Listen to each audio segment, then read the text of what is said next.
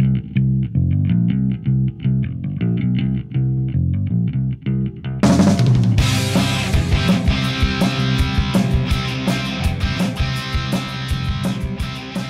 evening and welcome to a special edition of Across the Pitch, where we welcome an extra special guest who uh, those of you in Phoenix are going to be very familiar with and excited to hear from. None other than Adam Jahn, who has uh, gone and joined Atlanta United in the MLS this season. So we're going to talk with Adam today about uh, what he is looking forward to this season in Atlanta, and of course, reflect last season on the record-breaking year in Phoenix. So, welcome to the show, Adam. How are you doing today? I'm doing great. I'm missing the Phoenix weather right now. It's been raining all week here. Oh boy. yeah, it's been nice here, man. Like in the 70s, sunny, you know, but you'll you'll probably be a little bit better off come this summer when it's like 110 here. I, I would imagine. I don't know. This humidity is no joke. I hear. That's what I've heard about Atlanta. It does get kind of uh, well sweaty and stinky at times down there. yeah, but Phoenix has toughened me up, so I can take on anything. There you go, man. Love to hear that. That's, excellent. Yeah, no, you're uh, you're going to be at least indoors in that uh, that big dome stadium that they have there in Atlanta, and we'll uh, we'll talk about that here a little bit later. And uh, Hey, my name is Phil Kennedy, and it's Arran Ayers and, and Matt Robards on the line here with me today. And uh, we have a lot of questions that we want to get through, and a lot of uh, things that the fans here in town are wanting to hear. Uh, and uh, of course, we want to get this uh, out of the way first because the, the big news in, in all of the MLS this week is the unfortunate situation where your teammate Josef Martinez has suffered a season ending injury and is probably not the way that you wanted to get playing time, but it, certainly means that, you're the guy that's uh, that's going to step in. So, uh, how does it feel to be the guy stepping in for a former MVP? Well, like you said, um, it's a terrible injury, and I wouldn't wish it on anyone. But uh, I think he'll come back before the season ends. He is a he's a tough guy, so um, he'll be he'll be back sooner than you think. And there's no there's no filling his shoes. And um, you know I, am sure the club's looking to bring in reinforcements. So uh, all that stuff's out of my control. I can just uh, control what's in mine, and that's showing up, taking advantage of any. Adam, you talked about all you can do is what is what you can do on the field. I mean, spoken like a true professional. Yeah. And the little bit we got to know you um, last year as you were here is that you are are, a professional. It's great. When what was it like? 69th minute opening day in Nashville, which seemed like a really impressive crowd. I think I I read somewhere around 60,000. You know, you mm-hmm. you see Josef Martinez kind of coming off. Um, you know, you, you get your name called what what is does Frank de Boer say anything yeah. to you before getting into that game? Yeah, well, it's pretty crazy because um, even though I've only known Josef for a short time, uh, I know he doesn't he doesn't uh, stay down or he doesn't take injuries. So when he's when he goes down, you know it's for real. So when that happened, I immediately just started like sprinting uh, in the warm up area, and then he tried to get up ran back down the field to uh, defend, and then. What is what does Frank de Boer say to you? What's going through your mind? Well, uh, it's mostly tactical when he when he called me over. Just kind of uh, you know the game. We just need to see out the win, and he told me kind of how to defend. And you know my job when when they told me when they brought me in was to provide something different than how they usually play and so that's kind of more direct kind of battle with the big center backs and um, and uh, bring my strengths to the field. Right on, man. And, and you certainly did that in the game. Um, you know, we were watching here in Arizona, and I'll be honest, I was strictly watching uh, mainly just because you were you were on the team, you're on the bench, and so hoping you'd get oh, in. That's awesome. I have I have no kind of allegiance to any MLS club, but um, it was great seeing you on, and you played really well. And I, I mean, for me, um, and I, I, guess I could speak for Arran and Phil. What is it like to play in front of sixty thousand people? You know, it's uh, it's really loud, but uh, it's awesome. Uh, it's it's kind of surreal. It's you can't really hear anything, and um, you just have to kind of focus and you know think about a few a few things that you can control and and what what you have in mind like tactics and and whatnot because it's just it's a different world uh, with that many people screaming and that atmosphere. It's uh it's awesome. And and how much are you just looking forward then to stepping in front of the seventy thousand plus uh, people in Mercedes Benz Stadium for the first time? Uh, second time actually. Second time, right? Because you guys did CCL first, there, first time uh, uh, playoffs 2017. Oh yes, that's right. Yeah, you're on the opposite end there. there. So That's right. but no, I'm really really excited to see that as um, a member of the club and like it's the best there is, um, at least in in the U.S. And I, it probably rivals a lot of the European setups. So uh, they really do things right here in Atlanta, and that's uh, awesome to see. that's great, man. That was one of the things that I heard is that in terms of there was a, a survey for what are the the most cool teams in the world, and Atlanta United was actually ranked as the the second coolest team in the world just because of the the fan culture, uh, and it was ranked up there. I think PSG and, and Liverpool and Atlanta United were the top three, so that that's big Wow. company there. Are you saying it wasn't Phoenix Wright? well, that, Phoenix Rising, I mean, they're always the, the coolest in our book, but I'm I'm talking about the you know the the rappers are going to be wearing the jerseys and, and things like mm-hmm. that. Right, right, right, right. So all the hangers on, not the cool people like us. You're saying, Phil. um, uh, Adam, I've got a question for you, um, and, and this is Mhm. going to be a bit of a tough one. So bear with me if you don't mind. I know we're getting the tough ones out first. We'll, we'll move into something a little bit more uh, lighter uh, later in the interview, if you don't mind. But let's have a chat about that that uh, initial reception you received there, Atlanta. I think you could probably say it was mixed at best. Um, can you Mhm. enlighten us as to what that was all about, and and does that give you the fire to to prove those doubters wrong? Yeah, it was. I mean, you can't make this up. You know, after that PK and the playoffs, if you had told me I'd be playing on Atlanta in a few years, I'd have called you crazy.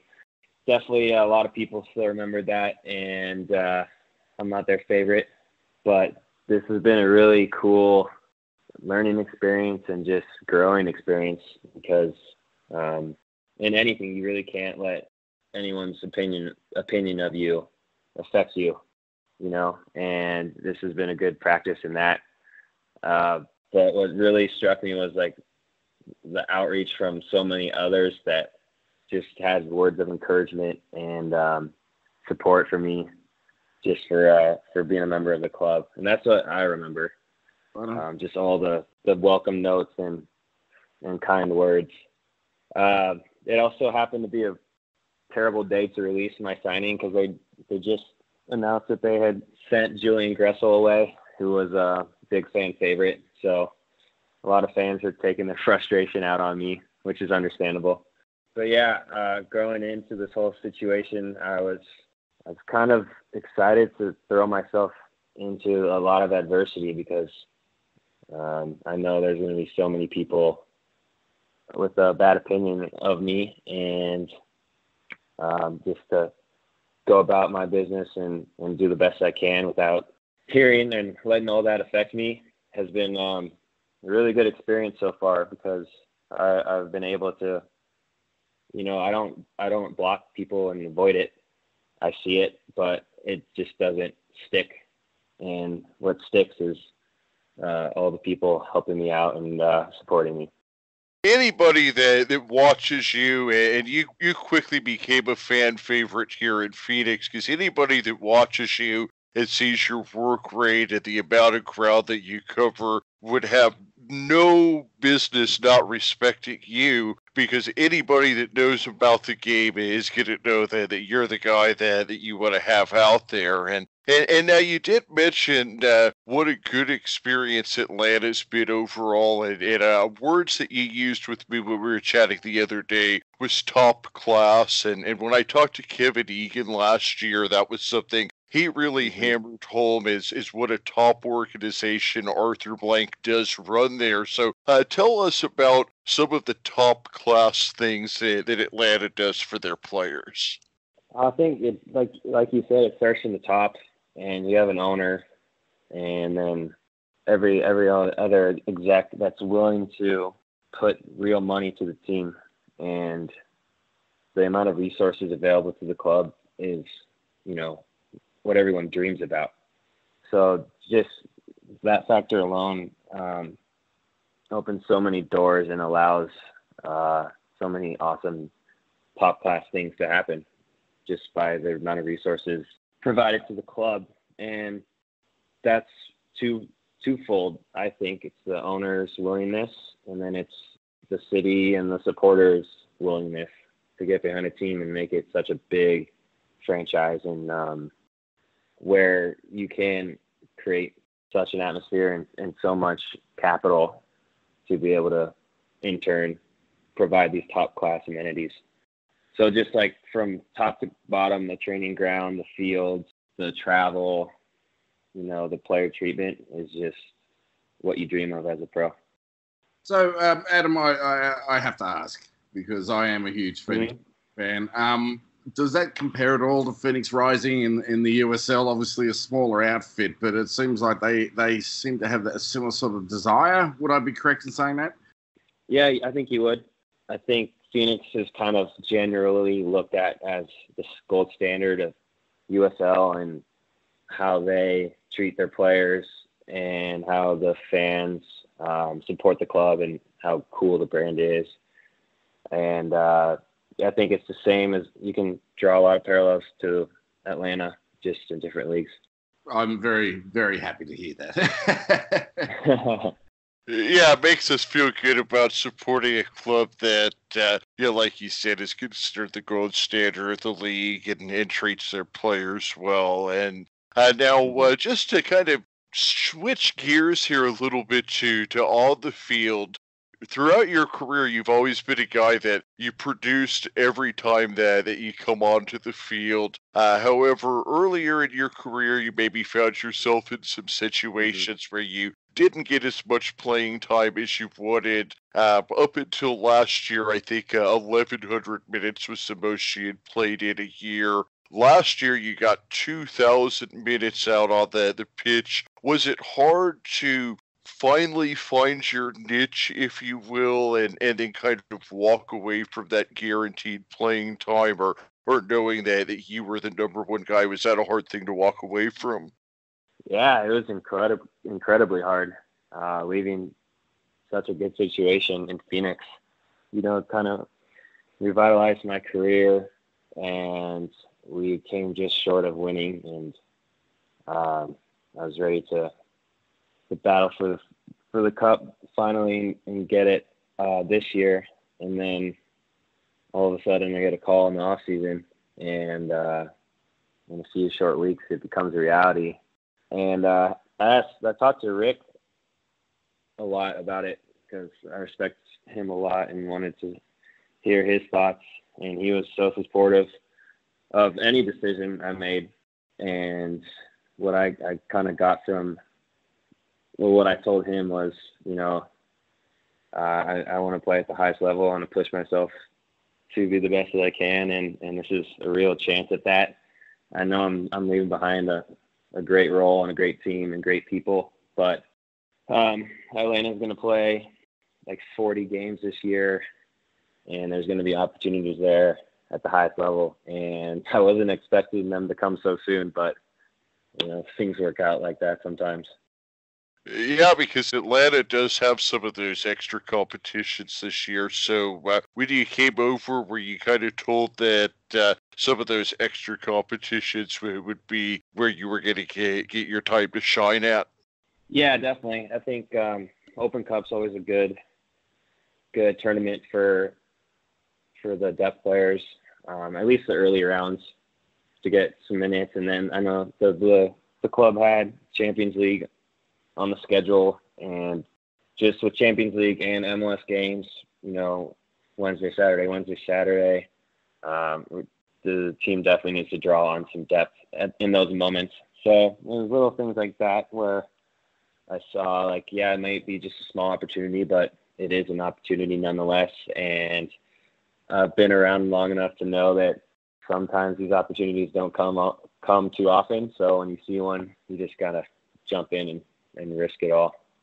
So Adam, I have a, a very off the cuff question here. Um, it looks like Phoenix Rising is, is putting a team together that's uh, going to look like they're going to have a run in the cup this year in the Open Cup. Mm-hmm. What would happen if, just by pure chance, pure luck, pure you know luck of the draw, Mhm. what would happen if Atlanta were, I don't know, set against Phoenix Rising? How would you feel about that? I say I hope it happens. That'd be amazing. it would be amazing. I know it's I hope it's I hope it's in the here. final. I hope it's here if it happens. That'd be something.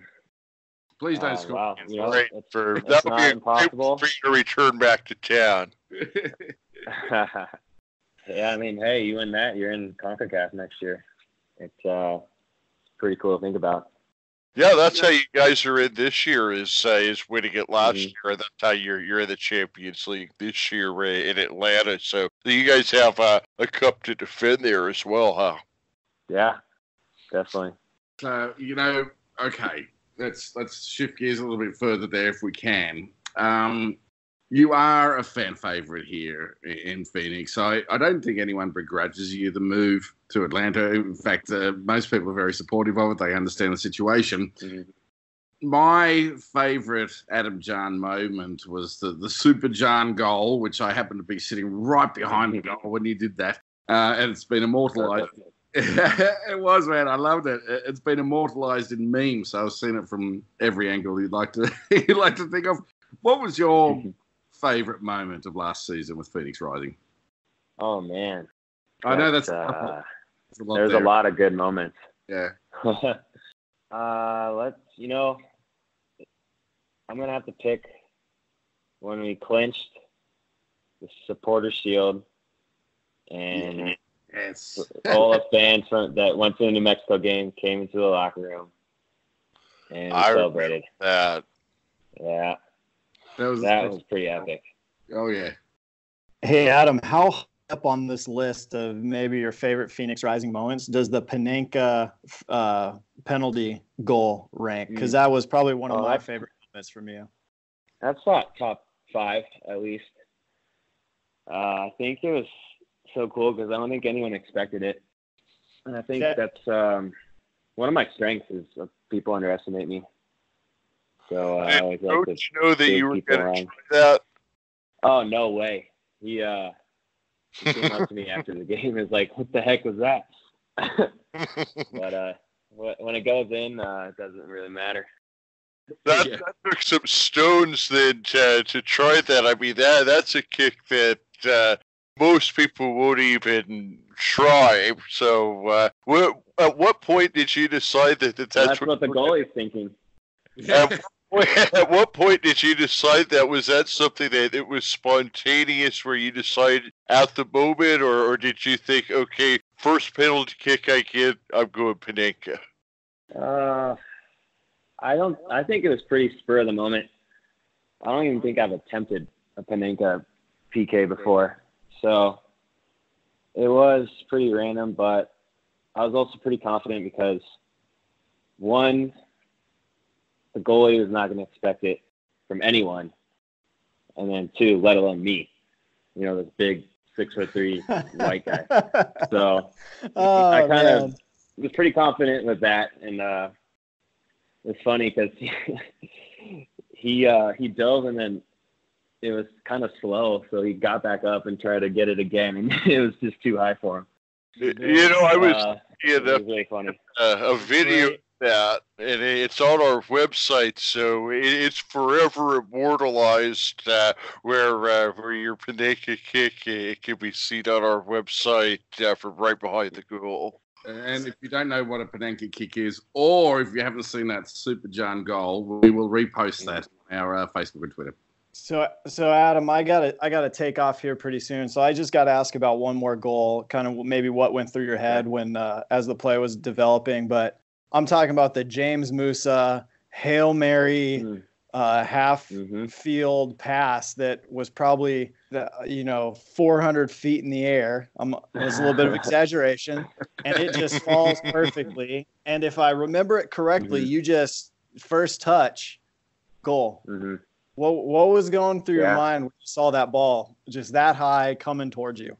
Well, I saw James got he had some space. They weren't putting him under pressure, so I kind of um, I don't know if he made contact because he was pretty far away, made eye contact, but uh, just kind of just got off on my bike and he lofted it up there.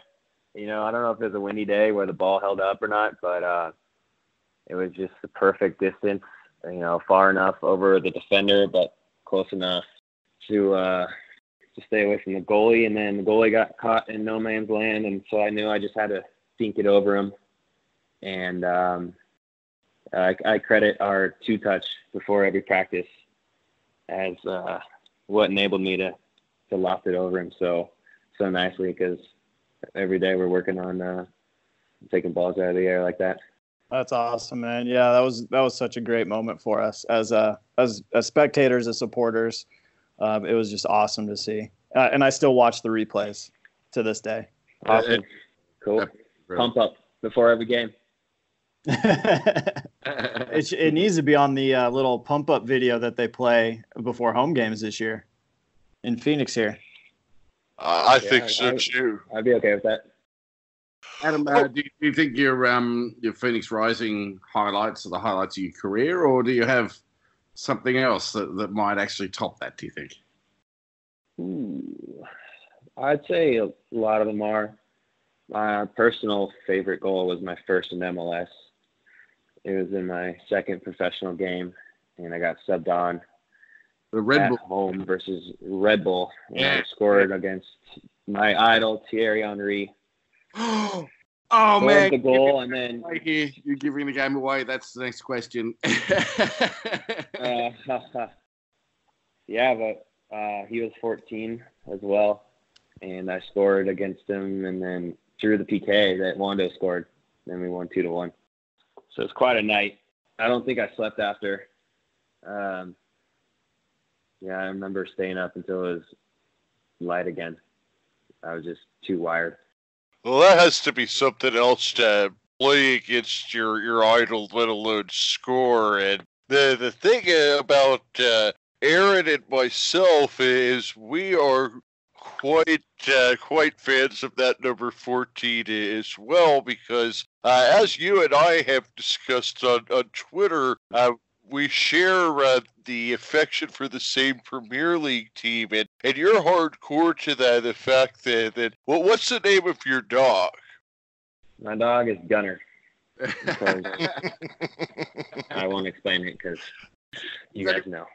yeah, and Arran likes that. Huh? Uh, I do. I do. Um, I have a Gunnosaurus in my house. Uh, I wonder if anyone knows whose team his is. I wonder. So, all right, all right. Adam, put the rest of us out of our misery. What's your team? Arsenal Gunners. Hell yeah!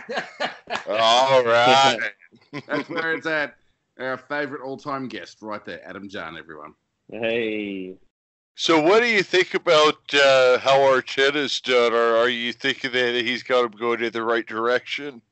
Yeah, I, I think it's he's youthful and you know he learned under the best so I, I uh, I'm excited for the next uh, see who we can bring in in the next few years um, and really uh, win some trophies. So speaking of trophies and, and teams that have not won trophies, Matt wanted me to ask you if the if the Spurs were a USL team, what USL team would be the Spurs? New Mexico United. oh yeah. I, I think our fans are gonna like oh, that. yeah, all right, all right. I just that have was, was easy. why, why, Adam? Why is it just because they're they're they're relatively local, or is it just they've got a big mouth and they can't back it up? it's all the above. Uh, they can't win anything. Um, they're local. No one really, I don't know, likes them unless you're from there. But um, yeah, I'll stop there. all, right, all right, I think that's probably fair. Hey, you're already a fan favorite here, Adam. Um, as I said before, many are still following you at Atlanta United, and I saw plenty of them online commenting about your, your debut for Atlanta. Um, Mm. What do you want to say to your fans here in the Valley? I want to say that's so amazing that you're uh, you're still following and and tuning in, and I have to say I do the same. And I'm uh, the biggest Rising fan. I talk to the guys a lot, and I'm so excited to uh, watch Phoenix this year. Um, you know, exceed expectations, and uh, it's not going to be easy. It, we're going to have a target on our back from last year, so I think that'll make the squad stronger, and uh, we'll learn a lot from from last year, and uh, you know, win the whole thing this year. So I wish you all nothing but the best, and I'll be following every week. I noticed you, said we there, which is quite endearing. Thank you very much. Yeah, I'm gonna have to. It's gonna take me a while to uh, stop doing that, but I feel like still part of the family, and that's mainly due to uh, everyone that's you know supported me last year and still does to this day, and that's how I really feel. So I'm I'm honored. Well, you're part of our family with the Rising forever, as far as we're concerned, and that the memories of last year. I, I mean, that that's just a season that, that 20 years from now we're gonna say, hey, you know, you remember that 2019? I, I mean, Uh, you just don't have seasons like that. I had the 20 wins in a row through records. Uh, I mean, everything. I, I mean, I, I would wouldn't trade anything in the world for for last year, and you were just such a huge part of that. Well, thank you very much. So uh, our final question here, I guess, is on on the back of that that incredible season that you had last season, last year. What are your aims for this mm. season? My aims for this season, for me in Atlanta, For, for yeah, okay. I was, I was thinking you personally, but yeah, okay. Let's let's do both. Why not? We got time. team goals, uh, win Champions League, be the first MLS team to do that. Win win win MLS Cup. Uh, that's the easy answer. Uh, individual goals, it's going to be a bold statement, but uh, I had this thought today. You know, um, I got USL Best 11 last year. Wouldn't it be cool to get MLS Best 11 this year? Yeah. So throwing it out there. I like that you're aiming high, and I, I love the, the Champions League goal, and uh, I think that uh, uh, it, unite and conquer. That is Atlanta's slogan, right? Unite and conquer. So uh, we're gonna we're gonna unite and conquer, and uh, I think that we're gonna see Phoenix Rising versus Atlanta United in that U.S. Open Cup final, like we were talking about. That'd be great. All right, Adam. Thank you for joining the show. For those Atlanta United fans listening, get behind this guy. He's extremely talented and committed, and when he says he's getting in the MLS All 11, you better believe he's going to bust a gut to get there. He's going to play out some plays you'll talk about for the rest of your lives. Adam Jahn, thank you for joining the show. Thank you, Adam. Hey, had a blast. Thanks, guys. Thank you Thank so much.